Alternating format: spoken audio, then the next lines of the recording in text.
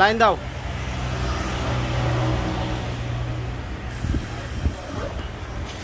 এখন দর্শক। আসসালামু আলাইকুম বন্ধুরা, আজকে আপনাদেরকে দেখাবো আমাদের কাছে একটা মোটর আসছে। তো এটা মোটর সাইডটা ঠিক আছে, কিন্তু পাম্প সাইডটা সম্ভবত নষ্ট। মানে পানি ওঠে না। এখন কি কারণে পানি ওঠে না? এটা আপনাদেরকে আজকে দেখাবো। এটা মোটর সাইডটা যখন নিচে ছিল, তখনই মেপে সবকিছু দেখা হয়েছে। মোটর সাইডটা ঠিক আছে। এখন মোটর হয়তো বা ঘুরতেছে না। আমরা এটাই দেখব, বারবার ওভারলোড ঠিক করছে। এখন কেন করছে? কি কারণে? এটা দেখাবো। আর হচ্ছে পাম্প সাইড মানে কি জন্য পানি ওঠে না? পাম্প, অনেক সময় মোটর ঠিক থাকার পরেও দেখা যাচ্ছে যে পাম্প সাইডের সমস্যার কারণে, অনেক সমস্যার কারণে পানি মানে ওঠে না। তো আজকে দেখাবো পাম্প সাইডে কি কি সমস্যা হলে মানে মোটরে পানি ওঠে না।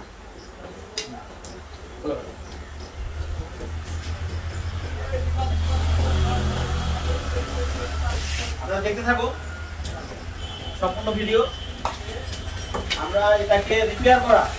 এটাকে খুলবো রিপেয়ার কীভাবে করতে হয়, পাম্প সাইড সম্পূর্ণ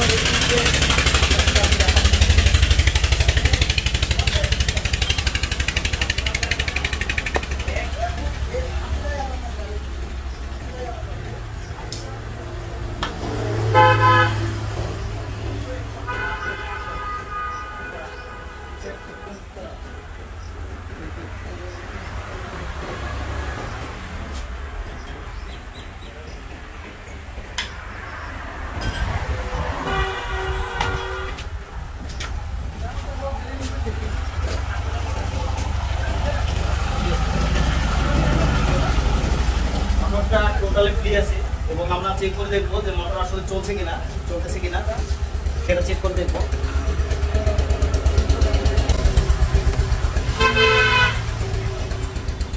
দেখুন বন্ধুরা মোটর কিন্তু ঘুরছে।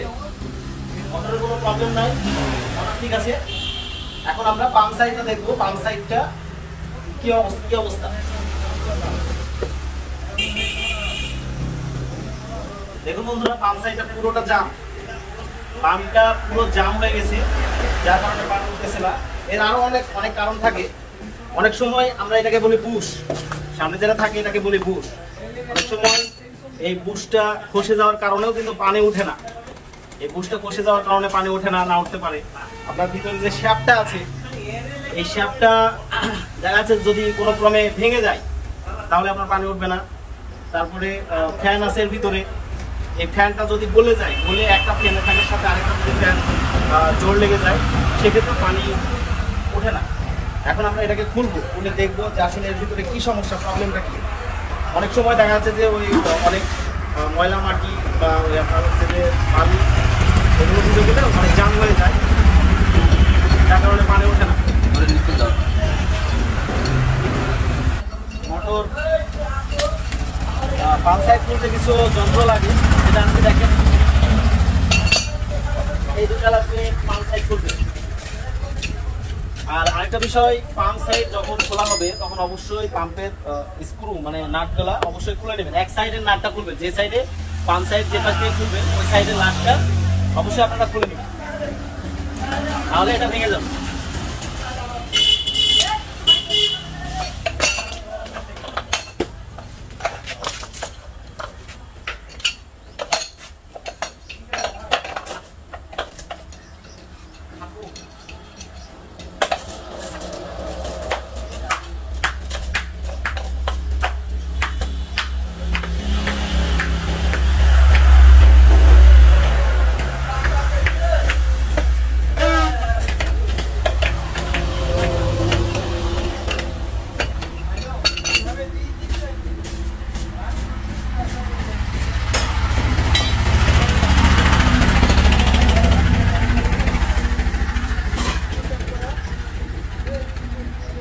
বন্ধুরা, এটা হচ্ছে ফ্যান আর দেখতে পাচ্ছি যে এখানে অনেক বালি জমে আছে, যার কারণে হয়তো এটা অনেক জাম, এটা ঘুরছে না। জাম হলে সব কিছু ঠিক আছে। এটাকে যদি আমরা পুনরায় ওয়াশ করে দিই, তাহলে এটা ঠিক হয়ে যাবে।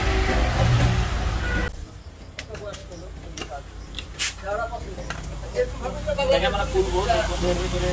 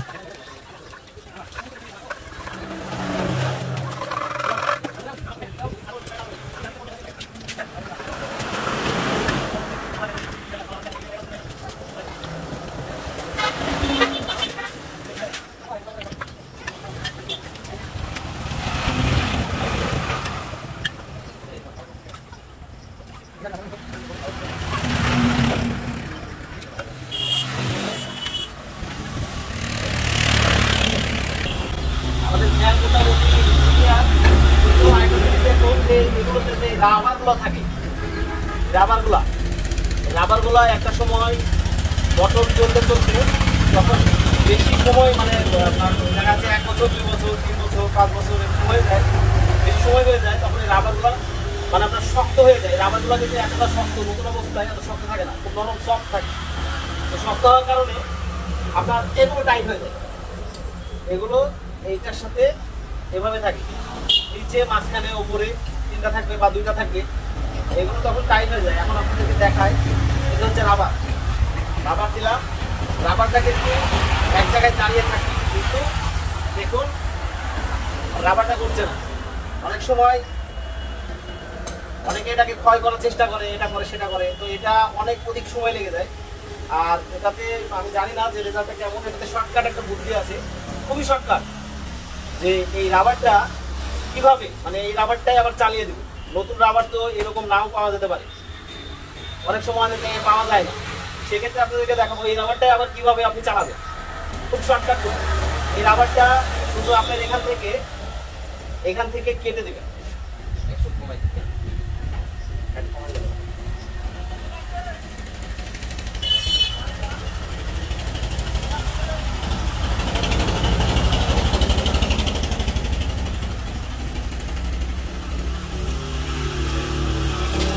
এভাবে কেটে আলাদা করে দেবেন এভাবে কেটে আলাদা করে দিলেই বাস, আর কোনো কাজ নেই। এখন এগুলোর ভিতরে রাবারগুলো দিয়ে দিন।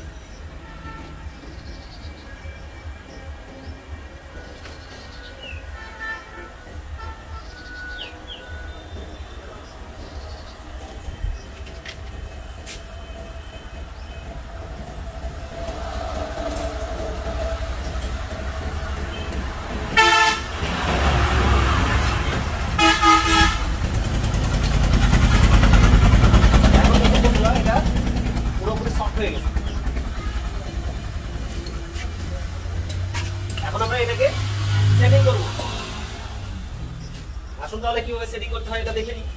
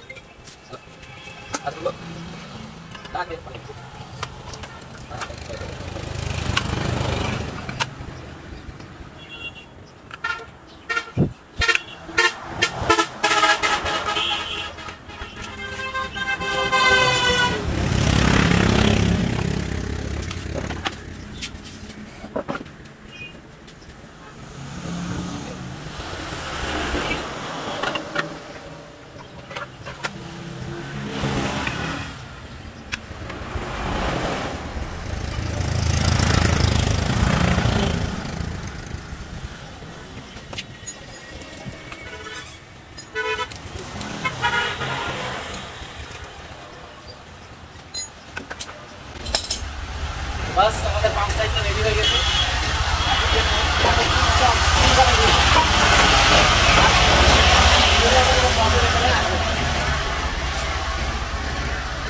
এখন আমরা এটাকে।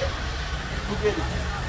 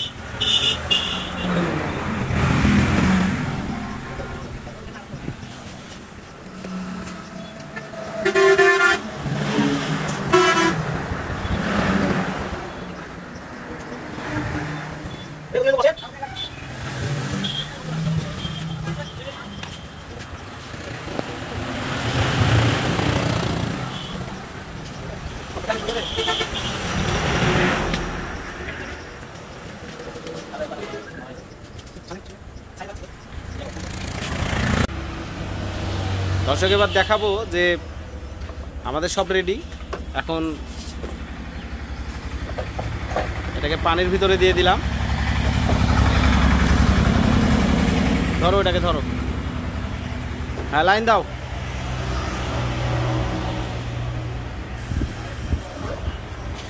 এখন দর্শক, এখন পানি উঠছে, আর সমস্যা নেই। অফ করে দাও।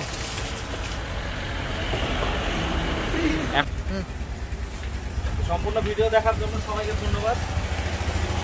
আর পরবর্তী ভিডিও পাওয়ার জন্য কারও কোনো প্রবলেম হলে কমেন্ট বক্সে অবশ্যই জানাবেন। অ্যান্সার করার চেষ্টা করব ইনশাল্লাহ সবাই ভালো থাকবেন, সুস্থ থাকবেন। আল্লাহ হাফেজ।